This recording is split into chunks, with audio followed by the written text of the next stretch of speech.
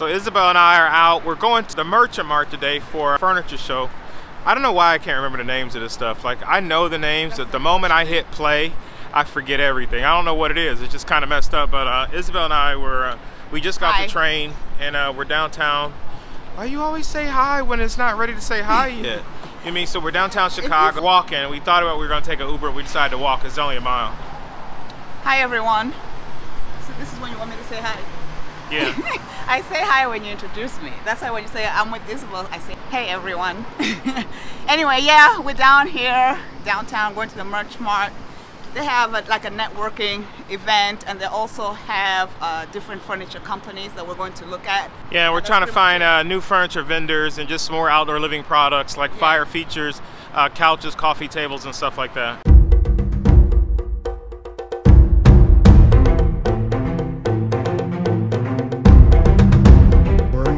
The outdoor living. So we'll have those available for you guys, even if you don't get a design from us.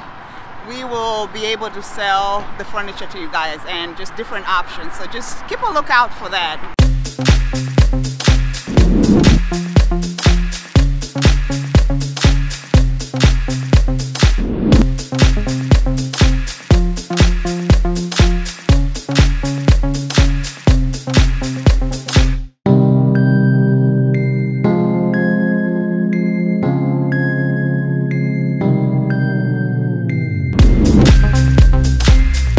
So I'm here at the Mart at Windward Design with Greg, and I just found out something. Matter of fact, I've always wanted to give a tutorial on this whole process and subject. But Greg, which he doesn't know for sure if he's allowed to speak, but I'll pan the camera over real fast. But what he told me was the difference between the heights and countertops and chairs is actually 12 inches. So most of your standard countertops are 36 inches, and if you have a chair to it, then you want to go 12 inches down from that.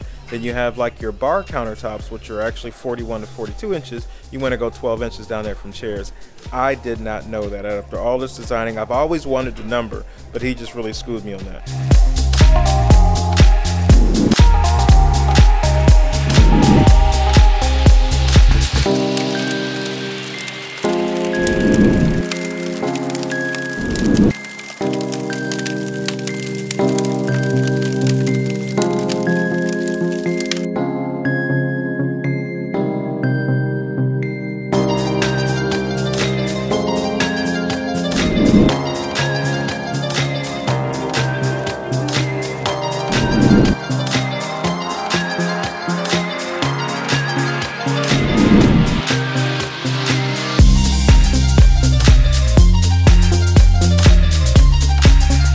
So I found a, a lot of really neat products, more outdoor furniture and some other stuff. So um, really neat stuff.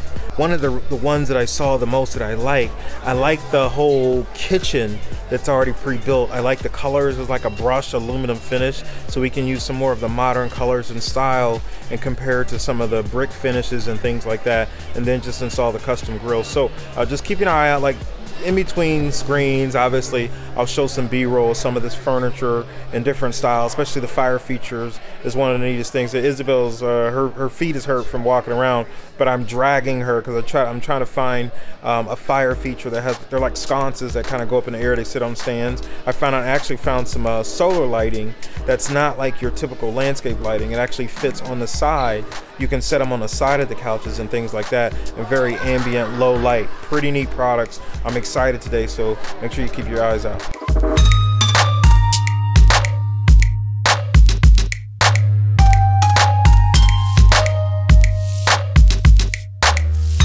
Is to finish the outdoor living is to be able to sell the furniture, pots, and the, the planters and things like that. There's, like I said, there's a lot of stuff that uh, I'm overwhelmed, a little excited today, but there's a lot of stuff that I want to show you guys, and, and we're going to start adding into the sites. We'll probably add it to the Facebook pages, the social media pages of some of the products we have. You don't even have to get a design and a built project from us anymore. Like say you already have your patio and things like that done.